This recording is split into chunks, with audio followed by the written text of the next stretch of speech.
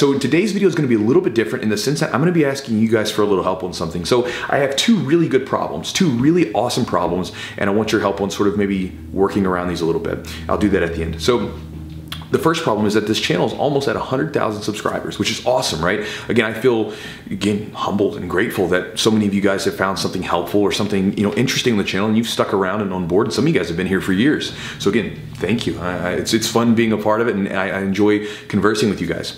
The second problem is that our gym is bumping, right? Like we always have students, people training, everything's going well, it's perfect. Here's where the two clash. Because of that, the Q&A videos that I do often become, they're very problematic because I either have to do them in the early hours of the morning, which is typically when I do my like lifting. I lift in the morning and I get up and do the Q&A videos there. And so if you ever see a video where my hair is all nice and together, it's in the morning. The second time is at the end of the night, right? Where after done training and all that stuff, and my hair's all messy. If you see a messy hair video, that's at the end of at the end of the night after training.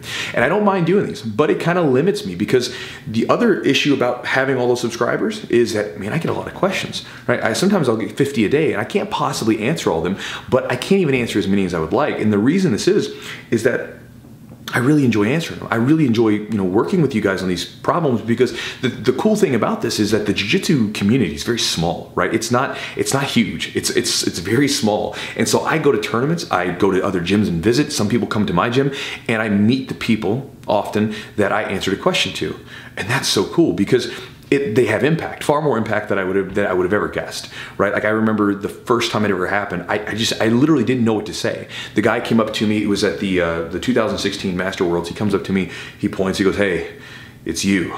and I was like, what do you mean? It's me. Like, uh-oh, like, what did I do?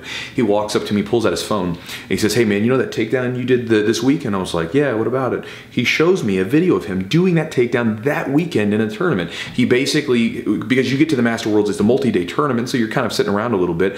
So he was going to his, the, the fitness room in his, his uh, hotel, and he was doing like the, in the gym, he was doing the takedown, drilling it a little bit, because it wasn't doing the full takedown, just doing the step into it.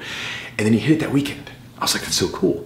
Another one that was really powerful to me that again, I didn't really know what to say was at the Charlotte Open, a guy comes up to me, taps me on the shoulder after I was done coaching one of my students, and he says, thank you.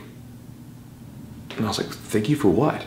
And he said, man, you know, I was watching one of your match or one of your uh, videos where you showed you losing to a person and then you competing against that same person a couple months later and winning.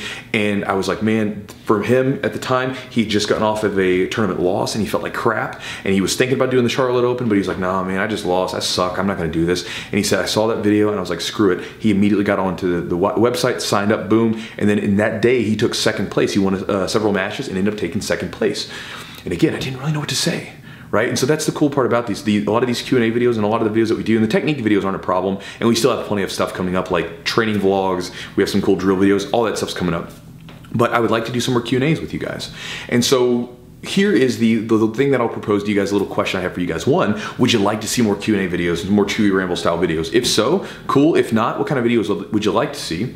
And then the second question that I'll ask you guys is if you would like, or actually more help, if you would like to see more videos, great because it's you guys that ask these questions, because it's this collaboration between you and I going back and forth, I have a couple spaces that I can do videos from time to time. One is here at the house. I still have to do a couple things to set this thing up. Um, but I have this big blank wall behind me uh, in my office area, and I'm, I'm very boring, right? Like the things that I hang up are things like this, like these boards where I put up, I'll read a book, and I'll be like, oh, that's a great idea, and I write it down, and I stick it on the, the um, the, the, the, little pin board so that I can keep those ideas around me. So I'm always surrounded by good ideas. It's kind of boring for a backdrop, I think. Um, and at the gym, I got another, again, blank wall behind me that I can do videos from. And what I would like you guys to do is have you guys be a part of this. So if I was to like sort of build an area here in the office or at the, the gym office, what would you guys like to see behind it? Like, what would you guys like to see sort of going on in the back? Maybe you have some ideas because I guarantee there's some of you guys that are way more intelligent than me and way more way more adept at decorating than I am because I'm not a very good decorator. And even then, some of you guys might even have something to contribute to because I know we have a lot of artists. I've, I've, received several gifts from you guys, really cool stuff. And so if anybody has anything that they'd like to contribute, I would love to put it up behind me, right? This way, like, you know, you guys can be a part of this thing where we're, we're answering the questions, right? I'm answering the questions you guys are asking. And then the, the little, little area, the backdrop could be something that can be a collaboration between you and me and, and everyone that's a part of this channel. I think that would be just a cool thing to kind of make this thing as we keep going. Um, so yeah, that's what's going to happen. So we're going to do some more Q and A's from time to time, but I would like your help with decorating the two sections or the two rooms that I'm going to be uh, doing the videos from, and I would like to see maybe what you guys either think would look good, or if you have some things that you would like to throw into it and contribute to it, I would love to uh, set that up. The way you can do this is either comment down the boxes below, um, or I'll put a link down in the um, the comments area, the description box below, where it'll send you to a page where you can send me an email, right? Like if you want to contribute to the wall and you need to get some information, you can send me an email there. Um, but otherwise, we'll do that. And if for some reason you don't want to see more Q and A's, what kind of videos would you like to see? I'd be interested in, in just hearing your feedback. So, guys, that's the video for today. And again, I, am really interested to see what your uh, contributions are, what your thoughts are, and uh, I'll talk to you guys soon.